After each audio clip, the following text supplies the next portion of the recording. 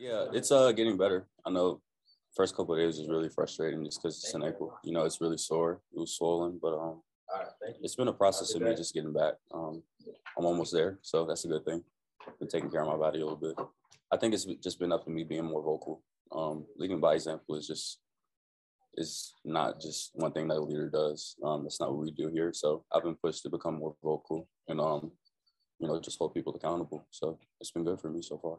Yeah, I think we've grown a lot, especially the past couple months with with uh, Kyren being gone. Um, I think we understood that everyone had to step up a little bit, and um, now we're at the point where like no matter who's in, who's in, no matter what the situation is, I think we're all we're we're uh, all going to be good to get the job done. So it's been good for us. Yeah, I think his standard is something that is based off of one competitiveness. Um, no matter what we're doing, we're always competing against each other. I mean, it's crazy, but um, one one one big thing is competitiveness. I think another thing is just looking out for for uh, your brothers, for people next to you. So it's been good for us. Yeah. yeah, it's been really good so far. I feel like he's done a really good job of picking it up so fast. I mean, he just got here a couple months ago, and he's already getting getting reps with the ones and playing really fast. So um, I think it just came down to him being competitive um, and withholding the standard like everyone else. So no, I don't think so. I think honestly, being out and not getting reps has helped me a lot, just because one, I'm not getting reps and I can't just lead by example. So I had to find a way to to stay in, in that leadership role and um, you know, being vocal and holding people accountable has, has been a few of those things. So honestly, it's been pretty easy for me because I'm not getting reps. But, um, just because you know we're not in season and spring ball, I haven't really pushed this too much. So we're trying to stay safe and uh, make sure that I'm fully healthy before I get back.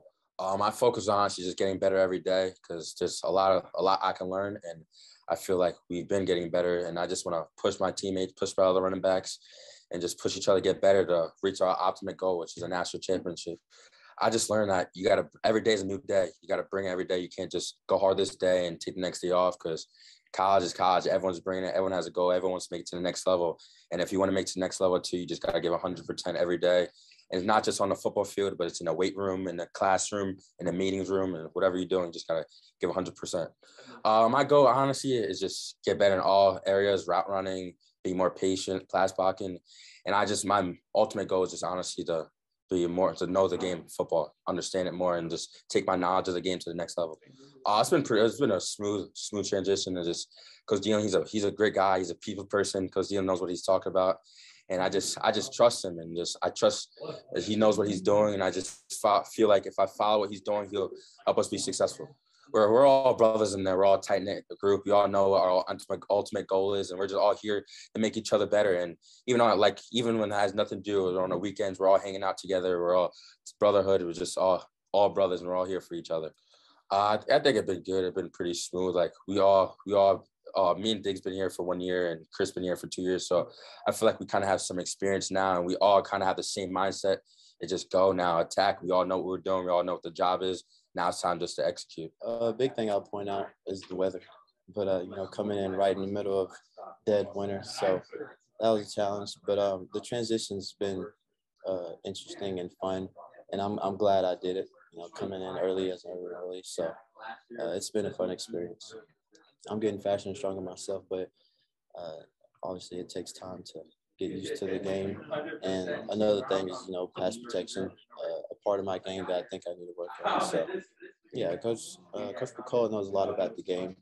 Uh, he spends time on it, and you know, as a young guy, I, respect that, and I, I look at that as someone to you know watch and, and learn from because he, he's had he's had experience at the, that position. So yeah, relationship wise, they they've done a great job of bringing me in and a part of the running back family since summer when Chris was my my host, and uh, back in December on my other visit when Audric was my host. So they they've done a great job, and I've I've uh, definitely instantly become comfortable around them. So yeah, uh, one thing is the schedule.